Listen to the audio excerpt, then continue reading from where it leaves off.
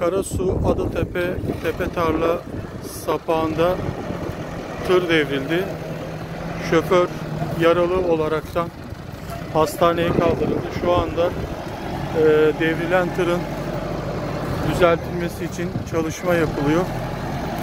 Evet, Karasu Adatepe Tepe Tarla sapağında tır devrildi.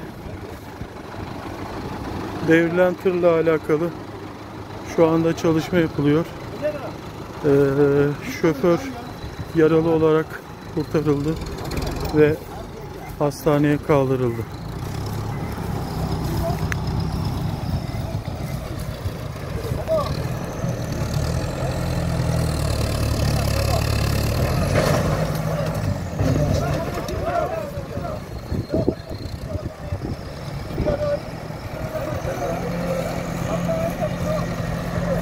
take, doesn't?